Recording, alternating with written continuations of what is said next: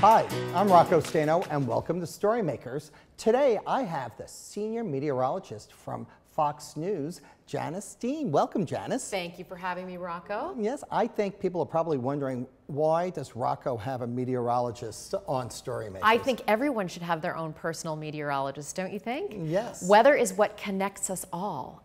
Every single person on Earth. You know, just yesterday I was in the elevator and someone got on the elevator and we started talking about the weather. So it's something you can actually chat about all the time. It starts discussions. Yes. It's fantastic. Yes, but you've actually uh, have a project where you're bringing kids and weather together. Tell us about that. Well, uh, I've been at Fox for over a decade now, and in my years there, I've had a lot of people that have asked me, Can you recommend good books for my kids or my nieces or my nephews? Because they have a love of weather. Can you?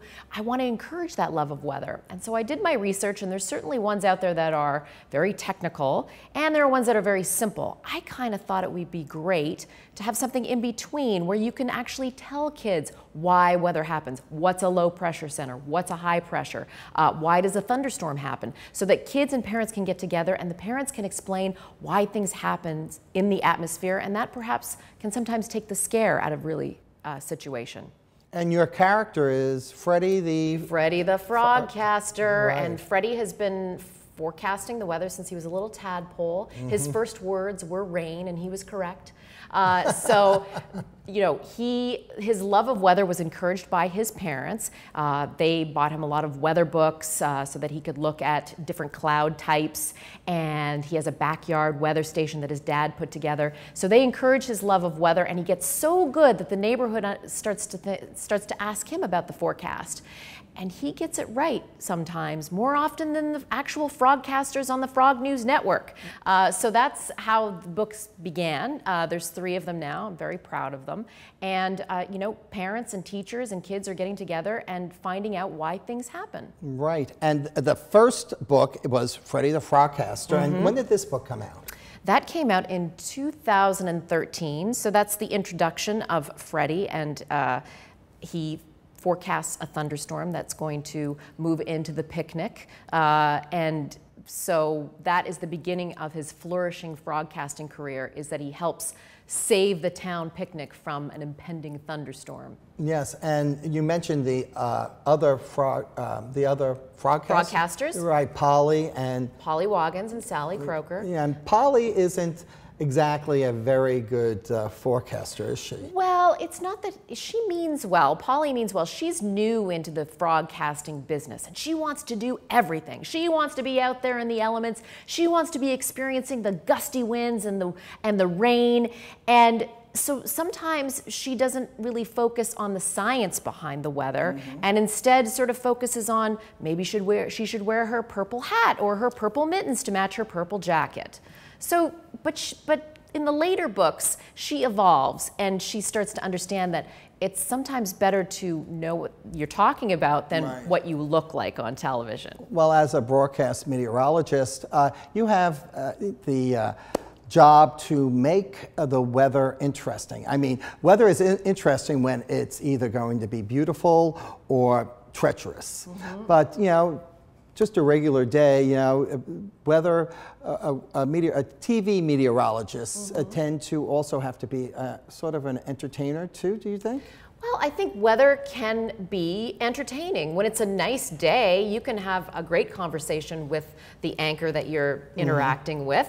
It's a beautiful day in the neighborhood, or they can say, "Hey, Janice, where, where's that uh, five inches of snow you predicted yesterday on my driveway?" Uh, so it can be fun, uh, back and forth. But when it gets scary, I think you know it's time that we are delivering a message that potentially could save lives. Right.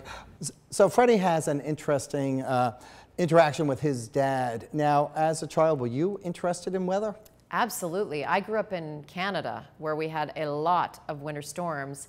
Uh, some of them would shut the city down for weeks because we would have ice storms, devastating ice storms with inches and inches of ice on cars and power lines. Uh, there was one devastating ice storm back in 98, I remember, that again shut the city down for weeks. The National Guard had to come in. It was a, you know, and I just remember thinking, how do these forecasters know when this is coming? And, and it was great that the community came together. And so I've always taken that with me and always had an interest. I was always good in math and sciences, and that's when I go out to schools, that's what I tell kids. If you want to be a meteorologist, you have to know your math and you have to know your science. Uh, so I was, very, I was always very interested in those subjects, but certainly weather always affected me, and I always wanted to know the science behind things that happen in the atmosphere. What was the uh, most uh, fun you ever had as a meteorologist? The most fun? Well, I love doing snow angels in the winter. I don't care how old I am. I could be 95 and I'm still going to do a snow angel if we have a few inches of snow on the ground. So I think this was last summer. We had a lot of storms, or sorry, this was last winter. We had a lot of uh, winter storms, and I was out there doing my forecasting when the snow was flying, and we had enough snow that I decided I wanted to do a snow angel. So the cameraman, unbeknownst to me, was filming this as I was doing my snow angel, my first of the season, and then they played it afterwards uh, on on TV. That's a good lead into your the second book in the series, uh, Freddy the, the Frogcaster and mm -hmm. the mm-hmm. Big Blizzard. And so and it's not only a story, but it also um, teaches uh, children and adults uh, what they should be prepared for for a blizzard. People are urged to stay indoors. You can't be outside. Uh, they sometimes close the schools, mm -hmm. and it's always important to have your emergency kit just in case the power goes out. Uh, Freddy does help Polly by giving her an emergency kit. Yes, Polly wants to be outside in the blizzard. I want to be out there. And she does. She's out there, but but Freddy wants to make sure that she is prepared. And so he puts the Blizzard emergency kit in the back of their news van just in case Polly gets stuck, and she might have gotten stuck. Yes. But I'm not going to give away the spoiler alert. No, uh, we won't. uh, but each of the books has uh, back matter. Do you um, actually do the back matter, or do you have uh, mm. other people come in and? No, uh, I do it. You it's, do it. I write the whole thing. Now I do have somebody that that looks it over and and and makes sure that my meteorological accuracy is on point. Right. Uh, but no, I I write all of it. I mean, I'm somebody on television that has to understand what I'm talking about and the science behind it. So I, you know, wrote why things happen. What is the criteria for a blizzard? What would you put in an emergency kit? I think that's really important. So when parents or teachers buy the book, there's of course the story, but if they want to learn more and dig into the science behind why weather happens, they can learn that in the back matter. Right, and now you have uh, two children. How old are they? Uh, four and six, Matthew oh. and Theodore. And so have you shared the books with them? Of course, they're my test audience. Yes. Yes, and I've, I've read to their schools. Uh, they love Freddy, and they, you know, they are, uh, they're the reason why I write books. I, I think parents have read, I've read thousands of books to my children, mm -hmm. so I understand what captures their attention. And I also have to say I have the best illustrator in the business, Russ Cox uh, really brought Freddy to life with his illustrations. So, um, you know, I wrote the book, but the reason why it jumps off the page is because of Russ. Now, do you have a favorite uh, illustration from the uh, first book? Hmm, I actually really love the cover of the mm -hmm. book. And I have every single cover in, as a, in a frame. Mm -hmm. and that's sort of the first vision I get of Freddy is is this is Freddy, right? Here. Yeah, that's him with his umbrella, and he's you know he's tasting the little raindrop that's falling onto his tongue.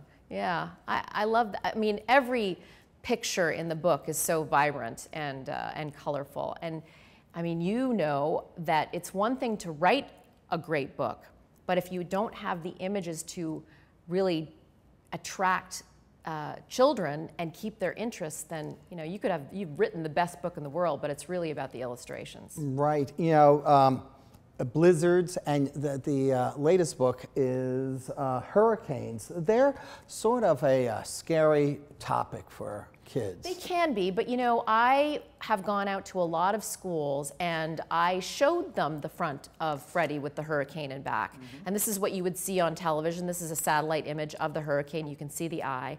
And I showed kids and I said, Does this scare you? And they said, No, no, it doesn't. It's not scary at all. It's for them, it's exciting. It's ex weather is exciting. They want to know more about it. And I think if we can talk to them about it, I had a, co conversation the other day with a parent who used to live in Tornado Alley. Mm -hmm. And they said that their kids remember going through the tornado drills, but not really understanding what is a tornado? So it was more scary to them because they didn't know what they were hiding from. But I think if you can explain why things happen, why we prepare in advance, why it's important to have a safe place if there's a storm coming, then you know it gets them interacting, it gets them involved, and I think that's really important. It's something that you can do with your parents as a family. What's uh, Freddy's future? What's in Freddy's future? Oh my goodness, shh, I'll let you in on a little secret. So, two more books are in the works. And the fourth one is going to be a tornado. So uh-huh. Freddy is going to experience a tornado. I think he might visit a cousin of his that lives in an area that has tornadoes. Um, you know, tornadoes can happen anywhere across the U.S., but there is a specific region we call Tornado Alley across the plains where all of the ingredients come together for severe weather, including tornadoes. So perhaps Freddy might visit somebody uh, near and dear to him that lives in Tornado Alley and, and help them understand why things happen. So that's the fourth book. Uh, Mm-hmm. uh, the fifth book is still in development, or can we have people tweet you suggestions? That's a good idea. You know what? When I go out to schools, kids love to tell me their ideas for Freddy's next adventure. So I have an idea what the, the book after the tornado will be, but I would love to hear some suggestions. And uh, what's your Twitter? At Janice Dean. Okay, the Weather Machine. So, how did you get that uh, nickname? Good question. I I think it was the first or second week that I was at Fox News, and my coworker uh, Shepard Smith, he he and I were rehearsing for his show, and he knew I was going to be doing weather, and he loves weather. He he wanted to be a weatherman, uh, so he was testing me, and. I just remember him going, Janice Dean, Janice Dean, Janice Dean, the weather machine. And everybody started to laugh, and it stuck. It's stuck since then. So every, you know, every other anchor calls me that. He's always called me that. Uh, and who knew it would be on the front of a children's book? Amazing. And I guess I owe him some royalties. Kids also like hands-on activities. So Mm-hmm. I'm sure there's like one or two activities uh, children, parents, or grandparents can do with their uh, with kids uh, to uh, that incorporates weather. Definitely. I mean, they can certainly record what the weather is each day and see what the patterns are, you know, over time, certainly how much snow we got, what the winds were, what the temperature was. Uh, very simple things that you can do. Now, this, I happen to have something with me right here. Uh, this is a rain gauge. And so you can put this outside. Um, you don't want to put it near any trees because sometimes trees have little raindrops that fall, and so it's not a, a, a great measurement. It has to be it as accurate as possible. So out typically in an area that's that's not covered by trees or long grass, and uh, and then when the rain falls, you can see when the rain stops how much rain came. So you've got centimeters on there and inches, um, and that's fun to do. You can you can see how much rain fell in your neighborhood. Speaking of breaking news, yes, we have some breaking news about Freddy, right? Freddy is now a Weather Ready Nation ambassador for NOAA and the National Weather Service. I'm so proud of this because basically they've given him their seal of approval that he is teaching parents, kids, uh, about weather and why weather happens because I think in schools now it's very important uh, for teachers to teach about severe weather events, what we can do to prepare in advance. Uh, so they've recognized Freddy the Frogcaster as a Weather Ready Nation ambassador, and so we get to put their logo in every book uh, that that comes out now, and and uh, all of the books are in every uh, National Weather Service office across the country. Are they? Yes. Oh. Now, NOAA, what does NOAA stand for? The National Oceanic Atmospheric Administration. You pass. the books, I'm sure, are available on Amazon and Amazon, Barnes and Noble, Books a Million, Walmart, they're everywhere. Um, and I'm, I'm really excited. I, I think Freddy is on to big things. Oh, terrific. Well, well, thanks for taking time out of your busy uh, day as a meteorologist and stopping by uh, Kit, Kid Lit here. And uh, we'll be waiting to hear what happens to uh, Freddy next. I hope the future is very sunny for Freddy. Thank you for having Thank me. Thank you. Remember, until next time, give a kid a book in any format